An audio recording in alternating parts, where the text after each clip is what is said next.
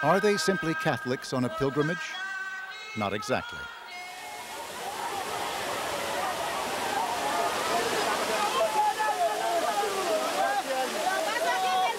They are voodooists, possessed, they say, by the spirits or the Loa of voodoo. This is called the Pilgrimage of Saut-d'Eau. And here you see that voodoo is not one thing, but at least three. One part Catholic, one part African, one part desperation.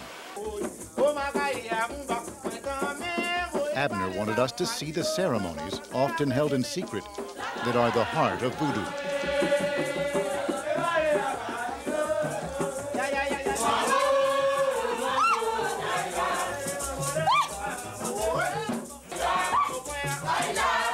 They come here from the United States, bringing food and medicine. They believe in zombies and mummies and, you know, and voodoo beads and charms, and they, they're harming their babies from believing in voodoo.